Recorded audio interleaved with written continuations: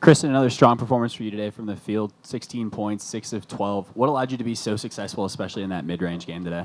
Uh, really just trying to attack and be aggressive. So just kind of keeping that mindset uh, throughout the entire game and not letting up. Nia got off to a little bit of a slow start in that first quarter, but you and Lauren were able to mm. really pick it up. Uh, do you feel any um, additional pressure? How nice is it that you guys have those four or five options on the court at all times that can yeah. score? Uh, you know, I really like that's really what I love about our team is the fact that we have a lot of different players who can step up at any given moment. So I think that makes us that much harder to guard because when one of us is having a slower night, there's three other people that can pick up the slack.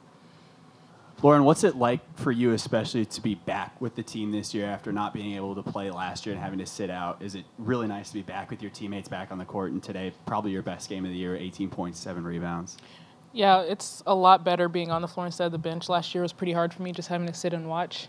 Um, but I think that I've been adjusting pretty well, and I have a pretty great team around me, so that helps me look good. It seems at least like from the outside that your shot has got you're getting a little more comfortable and back to what we saw from your shot a couple years ago. Mm-hmm. Is that true? Has it been a process to kind of get back feeling good, and is this as good as you felt with that?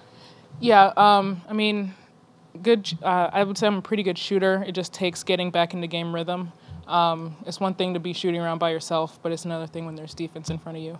Um, so as the games go on, I think I've gotten a little better. Lauren, this this team's struggled a little bit at the free throw line this year, but you're 10-11 today, and, and you were 4-4 at the line. How important are free throws, um, you know, down the stretch of these games, especially going into Big Ten play?